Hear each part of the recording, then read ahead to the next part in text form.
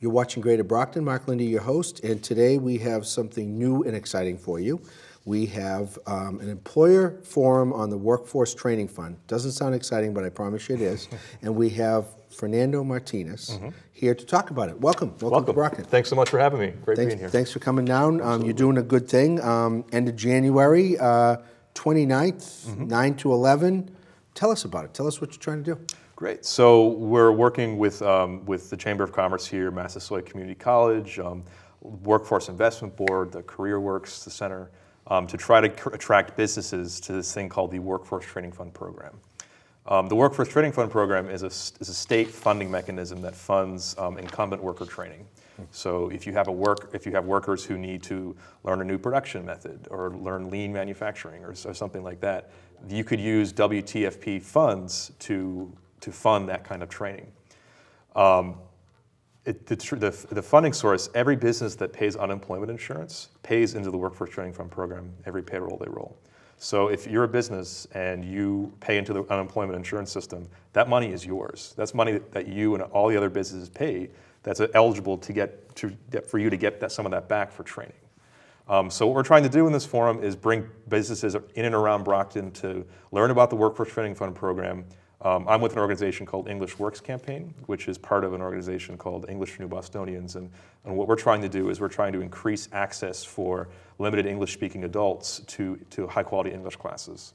And one of the things we've seen is through the workplace, um, if the classes are offered by, through the workplace and funded through the WTFP, um, a lot more people who are on that waiting list that we were speaking about earlier um, would have access to English classes. Not only that, they would also increase the, their product, productivity in the workplace, the relationship between themselves and the business. Um, and we just think it's a win-win, these, these workplace ESL classes. So. Well, we have a great uh, start. We've worked with our mayor's office mm-hmm. to do uh, ES, ESOL and ESL um, for TV okay? Right. And it was right in CareerWorks where we did it. Our uh, director of communications, so Mayor Carpenter, did that, and uh, we did it in conjunction with him and put it on TV. So we'll talk about other things sure. too, but um, you know, there's a waiting list. There's a huge waiting list in Brockton. I'm sure there is in Boston too. Yeah, and there's enormous. not a lot of locations. So this is another way to do it. This is another way to broaden the, the scope. And you know, I, I, I don't think uh, I took this a different training a couple of years back. Mm-hmm I didn't even know it existed. I didn't even know it was there. Mm. Um,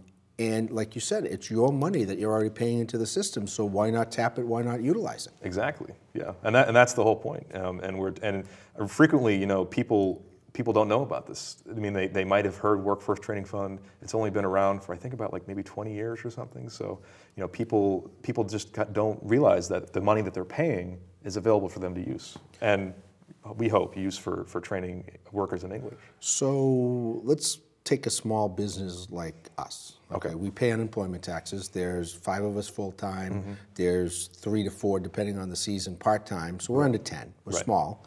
Okay. Uh, we haven't had a lot of people tap it because we tend to have longevity, but there, you know, people leave, you know, people collect, whatever. Um, what would I be eligible for something like that? I'm sure there's a whole formula to it, and, right. and it's going to be explained in the seminar. But right. can can you walk me through it a little bit? Sure. Um, so, if say if you wanted to hold a training for your workers, mm-hmm. um, I don't know what what your particular trainings are, but for the purposes of my argument, we'll say English. Um, yeah. Even though obviously you, you, speak fluently, and I know everyone here does as well. Um, what what you could do is you you would first contact us, and you would say English Works. You know, I'm interested in having English training for my workers. Um, I don't know how to fund it. I don't know how to, to plan it. Um, what, what do I do? And so, what the English Works campaign would do is we'd help you in three ways. Mm-hmm. The first way we would help you is we would connect you with um, English language providers. Uh, we have a list on our website, in, uh, english-works.org, that has a lot of uh, that has a list of like 35 ESOL or English for speakers of other language providers um, across the across the state. So we would link you up with one of those that has uh, experience teaching English for, in, in, the workplace. The second thing we would do is we would help you navigate um, applying for the Workforce Training Fund program. Um, for a business that's small, uh, ten, like 10 employees and under, there is an option to do what's called a consortium grant. Whereas if you apply with uh, a group of small businesses and you all have similar needs, so say there are other businesses around here that need English training, you could apply as a group to the Workforce Training Fund program and host a, host a training either at, at this site or at another site, mm-hmm. um, and you could cover all your needs that way.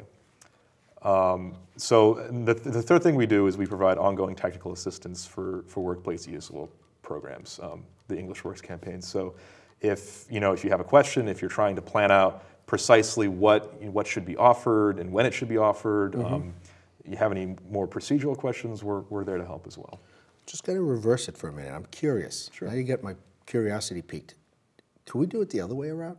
If we have people we serve mm-hmm. that speak another language, I have one staff member that's fluent in Haitian Creole, mm-hmm. but I don't have staff members that are fluent in Cape Verdean Creole. Right. Is there opportunities to get trained for the people that speak English to be able to talk to the people that don't? Actually, you know, I've, I've heard that question a lot. Mm-hmm. Um, through the Workforce Training Fund program, um, I have, I've never heard of a foreign language training, but I do know that they, they exist, and I do know that they are providers who will teach foreign language training. Mm-hmm. Um, I don't have any record recollections at the top of my head. We mainly do ESL.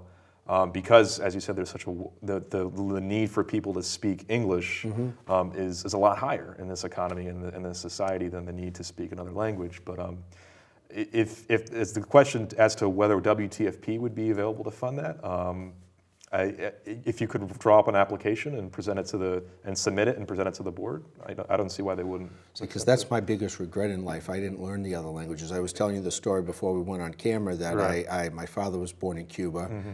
My mother wasn't. She was born in Boston, so right. Spanish wasn't spoken in the home. And they used to talk it, my grandmother and my father when they didn't want us to know what they were saying. right. I went to school in Miami. Right. I still didn't learn Spanish. In spring break senior year, I came home and the cable company was hiring. The rest is history. Yeah. So if I knew another language, and I tell my students at Massasoit, the reason I asked the question about the um, us taking the training is Massasoit does offer Haitian Creole and Cape Verdean Creole. Oh, I'm sure the associations do, the Cape Verdean Association, the Haitian Association. Mm-hmm. Maybe there's a way for us to serve people better. So I'm, I'm going to explore that. Um, I know we're going to, we want you to go to this event. This event, Thursday, January 29th, 9 to 11 at the Chamber. It's in that big conference room, I'm kind of assuming, yep, which probably has a capacity, I'm going to say maybe 50, 60 people, yep. something like that. Uh, there's a whole registration process. Um, the contact number on here is Franklin Peralta. Yep, that's my colleague. He's the campaign director. Okay, and the phone number is 617 982 6863. And he's F Peralta, P E R A L T A, at EnglishForNewBostonians.org. Mm-hmm. We're gonna we're gonna get you to add Brocktonians to that at some point too, but that works. And it's at the chamber, BayWib, CareerWorks, English Works, everybody, Massasoit, all working together. Mm-hmm. Any final thoughts? We got uh, maybe a minute left. Yeah, no, I mean, I know that Brockton is becoming an increasingly diverse city. Um, and as, as you were mentioning, there's it, the waiting list for ESOL classes for adults alone is, is thousands deep. I mean, um, it's, it, there's a long, long waiting list, and there's a huge need.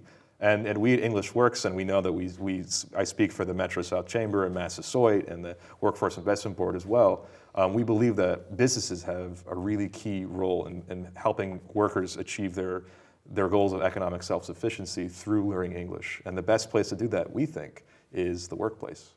Um, and especially if you can tie it into any particular worker vocabulary that they have, um, it really is a, it's a win-win. It ends up you end up making a bigger return on your investment than if your employees don't learn English. Well, so. we're going to follow up with you more, and we're going to attend the event, and we'll get you some clips of it, but you're going to go there. Yes. Right? It's more important to go there. So, so thanks for being on. Absolutely. Thanks so much for having me. Appreciate it. Um, you're watching Greater Brockton. Mark Linde, your host. Stay tuned for more events, places, people, and faces right here in the City of Champions.